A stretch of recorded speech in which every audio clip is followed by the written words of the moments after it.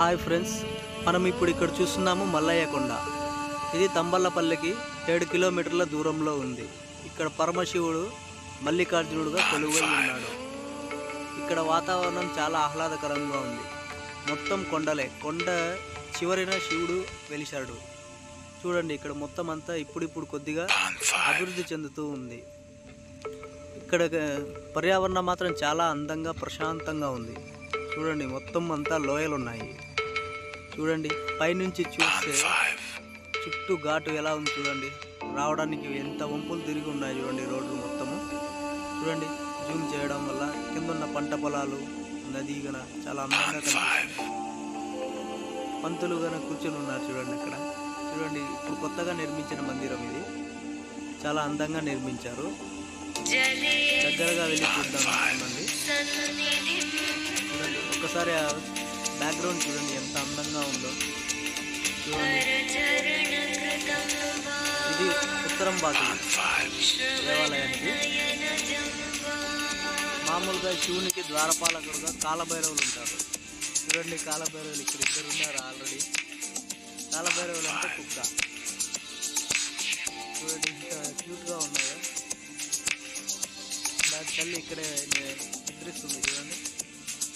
బండలు కానీ అన్నీ ఇక్కడే పెట్టి పెట్టారు. అంటే ఇంకా కన్స్ట్రక్షన్ జరుగుతూ ఉంది. కంప్లీట్ కాలేదు. ఇక్కడ శివరాత్రికి చాలా అందంగా ప్రసాద్ చేస్తారు దేవుణ్ణి.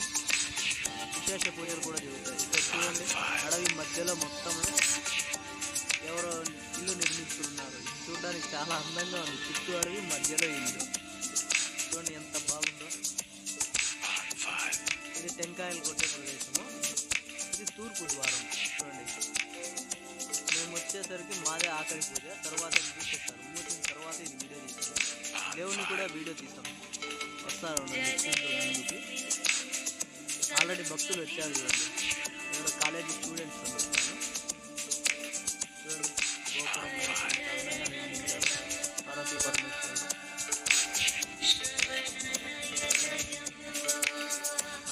లోపలికి వచ్చాం చూడండి. గుడి లోపల ఎలా ఉందనేది ఇక్కడే ఉన్నాడు శివుడు ఉండేది ఇది వినాయకుడు ఇక్కడ వినాయక స్వామి ఉంటాడు.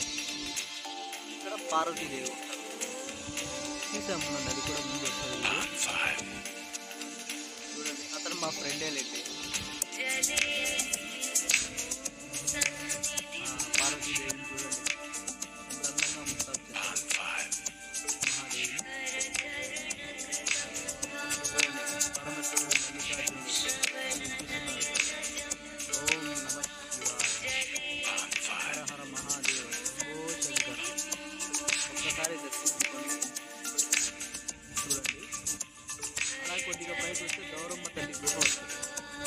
ఇక్కడే శివుడు నందికొండ నుంచి ఈ గుహ ద్వారా బయటకు వచ్చారు అని చెప్తారు. ఇక్కడ చూడండి ముడుపులు కట్టుకున్నారంతా శివరాత్రికి. అలాగే వైద్యానికి తరమైన ఆయుధాలు ఉన్నాయి. నాగదేవతలు లాస్ట్లో చూడండి.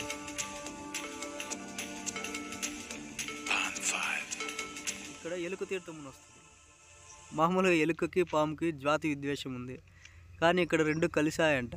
దానికోసం నాగల దగ్గర ఎలుక తీర్థం అని ఉంది చూడండి. ఇక్కడ ఎలుక కూడా ఉంది. అంతే ఫ్రెండ్స్ ఈ వారం నెక్స్ట్ వారం మరొక బ్లాగ్తో కలుసుకుందాం. ఓకే?